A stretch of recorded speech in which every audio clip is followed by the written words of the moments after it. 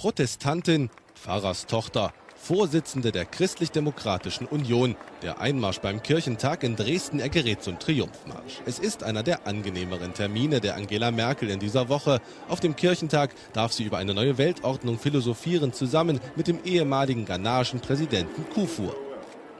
Wenn man eine wirkliche Weltordnung haben will, eine globale politische Ordnung, dann wird man nicht umhin kommen, an einigen Stellen auch Souveränität, Rechte an andere abzugeben.